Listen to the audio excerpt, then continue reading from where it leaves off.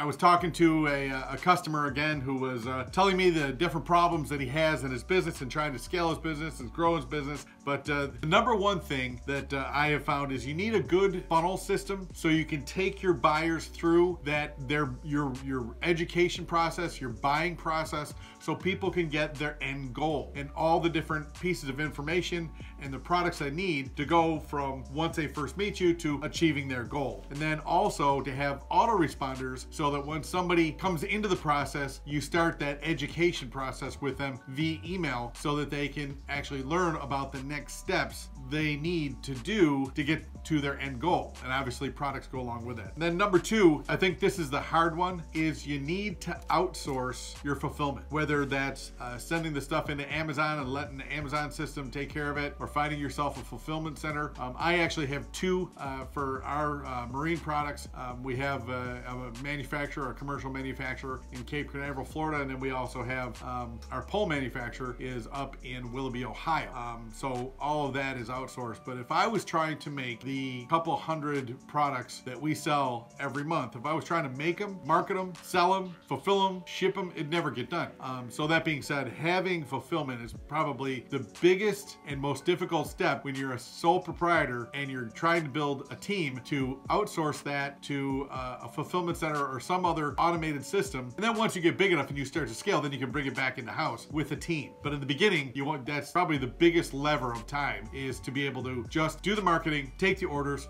and then push it out to your fulfillment center. And then last thing uh, that is so critical is to get referral business, which doesn't cost you anything, but to have automated systems to ask your customers for referrals. And then also have an automated system to offer an affiliate program to your customers so that when they share it with their friends and family, that they might be able to make a, a commission uh, or uh, get some sort of reward. And then the last automated system that every business needs to have is you need to have a way to follow up to get reviews from your customers. One, if something goes wrong that you can't control, your review system will give your customer a way to vent without it being on the internet. And that's a great way to one figure out what happened in your business and what went wrong and see if it can be fixed and two to prevent somebody getting on social media and just trashing your your reputation so having those three automated programs so automated referrals automated affiliate program and an automated uh, review system are critical if you want to scale your business and from a sole proprietor